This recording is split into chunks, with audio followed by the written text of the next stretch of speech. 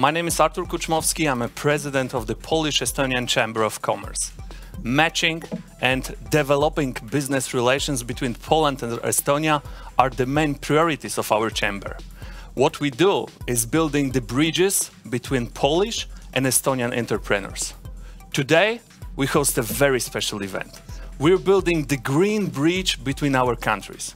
We would like to open the discussion about the changes and the new trends in energy sector. It's my pleasure to host this uh, extraordinary event with our both presidents, with Madam President of Estonia, Kersti Kaljulaid. It's great to have you here. And Mr. President of Poland, Andrzej Duda. We need a transition period, and we want to mutually ensure energy security to each other. I really see that. I mean, we are side by side and hand in hand with Poland in this transition process. Uh, PKN Orlen is a strong multi-energy concern uh, which uh, ensures the energy stability and security not only in Poland uh, but also in the Baltic region. I can say that Poland is important market for us. Uh, we can uh, see uh, great Uh, opportunities of uh, developing uh, the market. we are also a big player in solar electricity, building solar solar plants in Estonia. green direction is very important for us. last year we announced our strategy and we show that uh, carbon neutrality is very important for us and we are going to achieve carbon neutrality in 2050. And I've heard that the Bitcoin is also um, consuming as much power as a country per se. Um, what we do in Columbus is that uh, we started to uh, think about the electricity as uh, as an air. So you you can uh, put it into the system to the grid and use it whatever you like. It when you look at Bolt, we are all about the data.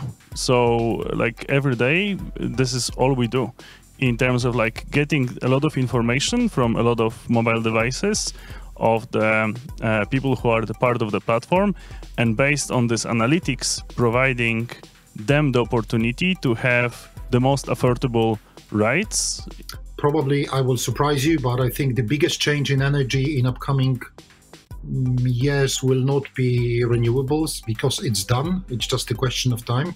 But the biggest change will come from the amount of data data that gathered and can be analyzed. Whoever let's say in Estonia or Poland or uh, let's say all over the world solves the issue uh, how to make the consumers uh, to prosumers uh, they will be the next big energy companies in future. My name is Alexander. I'm country manager for Tavex in Poland. And today I have pleasure to talk to four great people from four great startups. Uh, we are a distribu distributor of uh, disposable ecological uh, pack packaging uh, in Poland.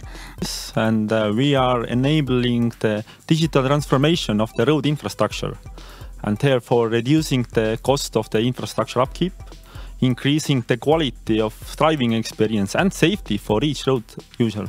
So Timbeter has developed the artificial intelligence based solution that you can uh, download the application, make a photo, and you will get all the information uh, in the forest and also in the storage. How much wood, how much timber, what is the volume, how many pieces, and where it to move. So Sunroof is doing a building integrated solar roof. It's a roof which has uh, a PV uh, uh, capacity building integrated. So it's a two-in-one solution. So you don't have to build first a roof and then put a, a solar uh, cell. Thank you, panelists, for uh, for such a great uh, speeches and presentation. Uh, with such visionaries, we can be sure that our world is in safe hands. Ladies and gentlemen, thank you for, so much for joining us today. As you see, our young chamber has uh, great ideas and a big, big support.